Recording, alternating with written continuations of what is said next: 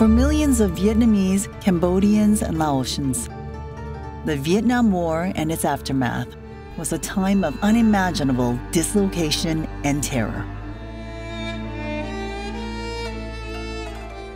From that time, I mean, my family were completely destroyed.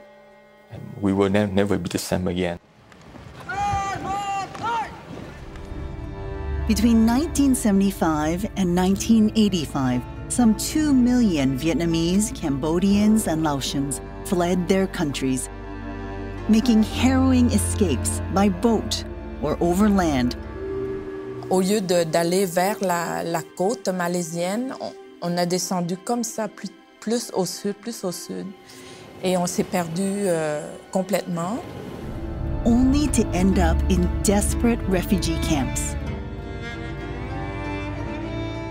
We lived in a hut, and uh, the hut had no walls, so basically just a thatch roof.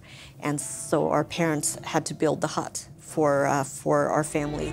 Some 200,000 of them would eventually, miraculously, make it to Canada. In the meantime, we are seeing on the television these images of boats turning over and boats capsizing and people in the water. We know that people are drowning and dying, and, and people across the country are seeing this too. And, and people are beginning to ask, well, you know, we're doing something, but are we doing enough?